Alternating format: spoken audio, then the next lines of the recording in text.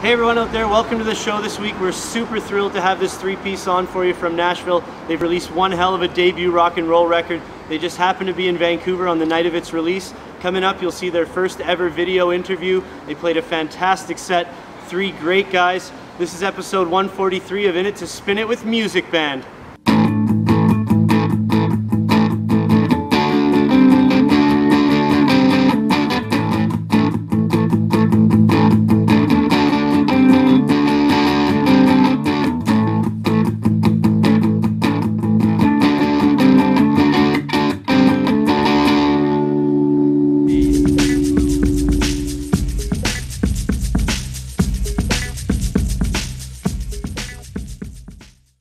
So we'll start the show off with parcel time here. This package actually coming from Infinity Cat. It arrived the day that uh, the interview took place at the rickshaw. It is indeed the Dead Soft Flexi single. Dead Soft, of course, from Vancouver. Really nice of Infinity Cat to include a little message here. Pretty cool getting that personalized. This uh, is called The Wind little flexi that I'm sure was fast tracked uh, just so they had something going on for South by Southwest for fans. Pretty cool song. Uh, Jordan Koop recorded this on Gabriola. Nice little Vancouver Nashville connection here to start off the show. So here is the debut record from Music Band called Wake Up Laughing. In the upcoming interview, we'll talk all about album design, uh, who did the liner notes, who they shot the cover with, the plants, everything. They had 100% artistic creative freedom with this. They didn't ever have to submit anything for approval. It's pretty cool of Infinity Cat to just trust them with it. This is the pre-order version. I ordered it two months ago in February. Uh, there's only a hundred of these on buttercream, uh, the color of the vinyl, which the band did choose also. I think more labels should do these really limited pressings. It's cool. Uh, you get a bag of money seeds as well as a little incentive. You can grow your own plant. But uh, learn all about this record in the upcoming interview. A really great album. Here we go. Talking with Music Band, their own words. Here we are.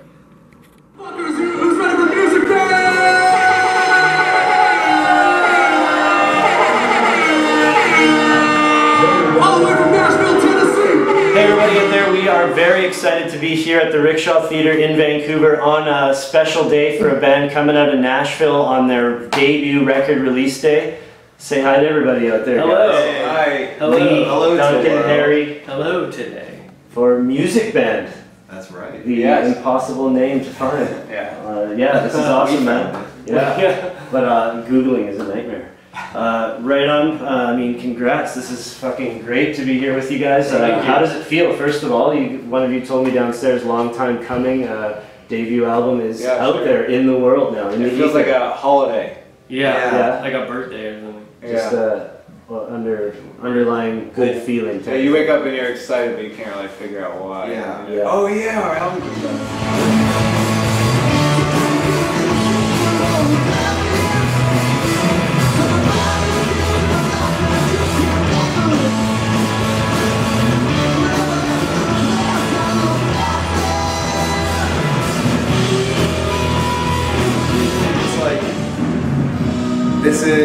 It's kind of just represents our lives, the past two years of our lives, uh, how we've grown, what we've been through. It's very personal, uh, and it's kind of like our first really serious thing that we're showing The world. the world and not and like kind of looking outside of Nashville, which has been our home and kind of been a huge part in shaping us. Uh, this is like the object and the material that we're kind of like this is who we are and this is what we sound like. Yeah. It's well, sincere. That's It's awesome, definitely- It's gotta be sincere. It's not like ironic or apathetic or anything. Like we tried really fucking hard to make a good record. And you did. It's amazing. It's Thank you. an incredible record,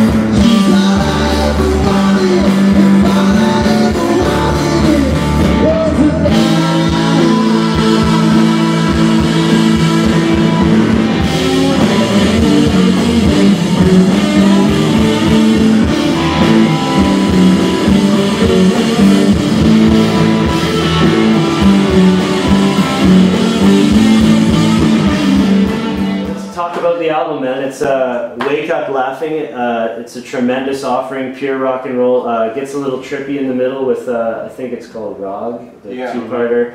Uh, great stuff, man. It's super excited, adrenaline packed. Uh, I picture myself in a car hitting all green lights, Oh, right? yeah, Yeah. Uh, I love the way the album ends with those two two-part songs. Um, one thing that uh, I listen to a lot of music, and this lyric slapped me in the face. I swear when I heard it, so I gotta ask, uh, take it to you. Uh, There's something so awful deep in my mind. Can't stop thinking which of my friends will be the next to die. That's some heavy Yeah. stuff on the track "Keep Living." Uh, what's going on on that one musically and lyrically? That was that's actually the oldest song on the record. Okay, Um, interesting. and that, I mean, personally, writing that, I think, kind of came out of a time uh, where death was just surrounding me. Yeah, and uh, it was kind of just like a a uh, bit of a wake up call in terms of like people in your life and letting people how, know how much you they mean to you and um, it's sort of just a reality check of Yeah. like uh, it's not something that uh, is all, all you know ever present on my mind like who's gonna die yeah. No, it's just a But I- really striking I think that's that's a kind of sentiment that I kind of strive for. I, Yeah. I, I, I wish that there were more things on that record that kind of um, explicitly uh, kind of just look you in the face Yeah. like that. Yeah. Um, Oh, it keeps the listener engaged and definitely perked my ears up because it was like, whoa, holy shit.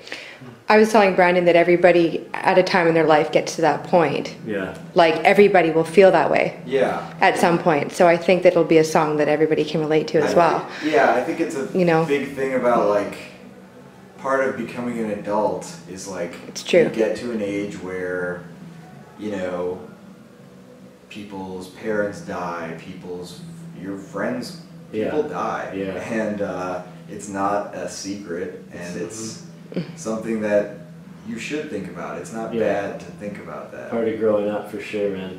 Not everything's all roses when you're all a kid and everyone's Mm-hmm. here with you. But let's not talk about death on this magical release day. Getting down, maybe that wasn't the best fucking lyric to bring up right away. Good. Yeah, that's nice. So, which song uh, you guys recorded at the bomb shelter? yeah. Uh, awesome place, I've heard. Clear Plastic Masks, uh, name drop that as well. Um, yeah, Everybody who records there feels like a sense of loyalty, I think, just because Yeah. like it's a world class recording studio made affordable by the graces of Andrija who runs it. Yeah, So it's like an, the ultimate resource for a musician. cool. I think everybody that records there feels really grateful. Yeah, and, well, the people I've met have spoken highly of it. Uh, what song gave you the most difficulty to record? And uh, Oh, I definitely know. You still okay? Yeah, immediately know. Scared too. It's good. The last song on the album, Scared Scared, Two, Music yeah. Part Two, is Yeah. a tough one. Um, Is it something? Cause that one got written while you were out of town, right, Lee? Yeah. And so I ended up playing uh, uh, drums on a demo that me and Harry made at home while Lee was out of town, like right before we went to the studio. Yeah. It's like, let's definitely put this on the record. It's really good, but like we'll see. You know, we only have five days to record, so I might end up just doing it again for the sake of time. Yeah. So I played drums on it, and of course, since I'm not the drummer in the band, I screwed up and I played it a little bit too slow. But we had already recorded everything on top of it, and we kind of were listening back and we're like, you know, this is not doing the song justice. After we Well, had we- we had played toured it it. on a tour, yeah, oh, that's and it right. kind of like allowed it to like become its Right, own where you started breathing. Yeah, so we, breathing we came back to town to mix it, and we are like, listen, we gotta re-record this. And he was like, dudes, we don't have time. Like, if you really want to do that, it's gonna eat into mixing time for sure. And so what we ended up doing uh, was kind of an old school technique. Is we just sped the recording Manually. up manually on the tape machine, No play shit. back uh, a half step higher. Nice. And- no, you can hear it. Yeah. On the track, you can hear it change and get like kind of ramp Yeah, up. Scarab It's Music like some one to Scarab Music two. The transition is us literally pitch bending the tape machine up, and then when it hits, it has not only the original track, but another drum track that Lee recorded. So it's both me and Lee playing drum sets on it, and then Harry doubled his pitch bent vocals with another vocal take. And Wow. then the ending of the song, we were actually planning on having all the Diarrhea Planet guys play guitar solos one after another on the ending, but it didn't work out. Yeah. So we took a bunch of like public domain sound effects and put and just totally blew the track out with compression and had just a lot of fun with it and stopped Yes. thinking of it as like a serious like how are we gonna make this song good and we're just like how can we make this song crazy and just Yeah. stupid and be like the ultimate ending of the album. Yeah, good you know? album. It just throw a bunch as much shit Yeah. into it at the end as we can. So- take up all the tracks. Yeah. and just turn it into this. In like, terms of production, it's like the heaviest production on the album, but it's not to make it cool. It's to make it like totally it's like over the top. It's like Yeah. Well, I mean, I have the image seared into my brain of like sitting next to where Andre was mixing, and then Harry and Duncan on the couch, and I'm just like sitting here with like a smile on my face, and then I look over at Harry, and he's just like, I was. he just like couldn't take it all in. It was Couldn't like do the perfect He's like- example of being taken out of my comfort zone I was like, with like a producer Yeah. where he was doing something he's like just just trust me Wow. i'm sitting there listening to this song come together and i'm just like just like uh, total mindfuck. Yeah. So that's just one song. Like So that that's was a just lot of work. blast- That was kind of the hardest one to record Yeah. just because like it was so fresh. Like we had just demoed it before we went to the studio and we figured we would figure it the song out through the recording process, Yeah. but like most of the album we record everything live, so like the song was figured out by the time we had done the take and it was like too late a little bit. Yeah. Okay. Well, definitely something cool to listen for on the last track of the Yeah, record. definitely. Can't Um, miss it. I'm interested in this. Let's talk. Um, we can talk. Let's talk artwork. You guys are on the cover Oh, there sure. with a bunch of plants. Uh, the, the album's "Wake Up Laughing." Maybe talk about the meaning to you guys if you want, and the cover artwork. How'd you come up with that? Okay. yeah Wake Up Laughing, that's a that's a lyric from one of the songs in the album. Yeah. And we we combed through the lyrics for the entire album, searching for something appropriate, and we just felt like that embodied, you know, our our characters. Spirits. Yeah. Yeah. Uh, Okay. Just starting the day with a smile on your face. Yeah. And but it's i- in a like a really literal sense like if you've ever waked up if you've ever woken up laughing it's like a very strange experience and uh, Yeah. I it's like the most incredible thing. The best way to like start your day. Interesting. uh, I've never done that. Never album had art the- wise though, our who whose concept was it? Was it Semi's It concept? was, it was something that I had thought of, and I was working on like a, I was working on a T-shirt design with our faces and a bunch of plants around them that was like taken pretty like similarly from there. There's a greatest hits of the Beach Boys record Yeah. called Endless Summer, Endless Summer, and it's yeah, all their faces kind of through Yeah. the plants, and I was like, that would be so cool to do something like that, a drawing like that. So I got everybody's face and I did it, and then uh, ended up telling Harry about it, and he went and had a meeting with our friend Semi, so who did the actual picture, and her and uh, our, our partner Rex uh, just kind of worked it all together. And second, like we we talked to Semi about this kind of basic idea, and she was like, "Shut up." And I know exactly what to do. Yeah. And like, we went to this nursery, arranged all these plants and stuff, and she was like, I just, I'm not gonna show you any other pictures. I'm gonna choose one. Just trust me, I, I know exactly what you guys want. And she showed us one picture. I was like, I think this is the one. All we were the like, okay, yeah, it's amazing. Wow, Down. it. Uh, Rex, uh, Rex Runyon did all the layout, the design, Yeah. He did the uh, back like stencil. the text, just Yeah, I everything just else. started. I haven't really had a chance Yeah. to take it all in. So yeah.